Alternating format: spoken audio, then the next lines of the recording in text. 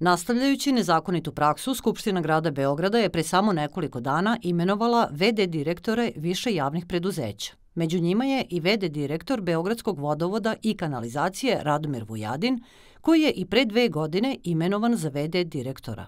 Isti slučaj je i sa VD direktorom Infostan tehnologije Aleksandrom Kemivešom i Aleksandrom Jakšićem, novim starim VD direktorom Gradskog stambenog preduzeća. Vlast se tako i dalje ne obazire na pozive nevladinog sektora koji uporno poziva da se prekine sa kršenjem zakona o javnim preduzećima. Nehaje se za upozorenja, niti se na pitanja u vezi sa tom temom odgovara medijima. Tako grad Beograd ne odgovara na pitanje insajdera kada će biti raspisani javni konkursi i zašto su pojedini direktori više godina u VD stanju. Poslednji konkurs je bio 2018. godine, kada su direktori izabrani na mandat od četiri godine do 2022.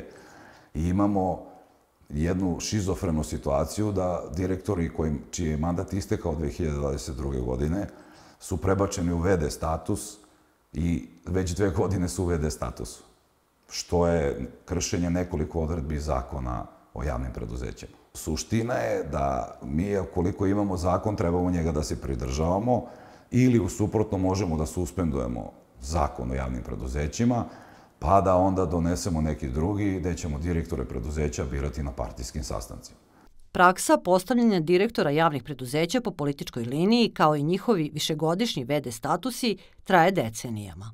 Jer su javna preduzeća partijski plen i mi kao organizacija se zalažemo da se uvede profesionalni menadžment, jer gradonačelnik, gradsko veće jesu političke funkcije, ali sekretari i direktori javnih preduzeća trebaju da budu profesionalci sa ličnim integritetom, sa iskustvom, koji treba e, da obavljaju posao i da odgovaraju prvenstveno građanima. Znači, VD status ne bi trebalo da bude duži od šest meseci, uz obavezu da vršilac dužnosti mora da dođe iz organizacije, da bukvalno premosti period i funkcionisanje preduzeća do sprovođenja konkursa.